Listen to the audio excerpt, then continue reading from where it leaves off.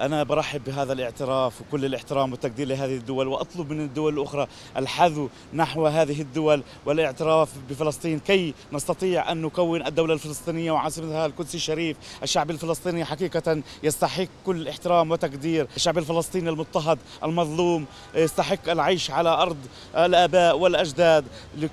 كي نعيش بسلام ولا نعم